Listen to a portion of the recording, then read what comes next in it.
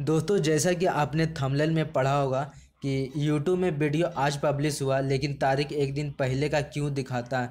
ज़्यादातर लोगों के मन में ये सवाल होता है दोस्तों, क्योंकि जब भी कोई वीडियो अपलोड होता है तो लोग उसके डिस्क्रिप्शन में देखते हैं कि कब अपलोड हुआ, जैसे आज अठारह तारीख को जैसे अपलोड हुआ है तो वहाँ पे दिखाता है सत्रह तारीख, ऐसा क्यों होता है दोस्तों?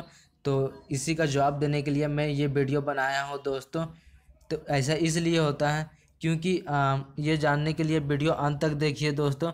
दोस्तों यूट्यूब में डेली लाखों करोड़ों वीडियो अपलोड होते हैं और यूट्यूब एक अमेरिका की कंपनी है दोस्तों यूएसए की कंपनी है और इंडिया और अमेरिका का जो टाइम होता है दोस्तों अलग अलग होता है। लगभग 22 घंटे इंडिया का टाइम अमेरिका से आगे है दोस्तों। इसलिए भारत में तारीख एक दिन बढ़ जाता है, क्योंकि 12 बजे रात में ही डेट बदल जाता है। आप सबको पता होगा कि 12 बजे रात में ही डेट बदल जाता है तो ये एक दिन मतलब चौबीस घंटे का होता है। तो ये बाईस घंटे तो पीछे है अमेरिका, इसलिए आज अठारह तारीख इंडिया में है तो वहाँ सत्रह तारीख ही पब्लिश दिखाता है।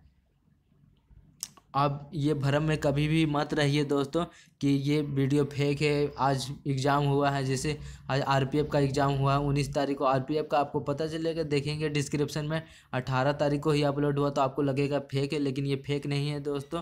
इसी तरह से मतलब होता है, एक दिन पहले ही दिखा, दिखता है कि एक दिन पहले पब्लिश हुआ, लेकिन पब्लिश आज होता है।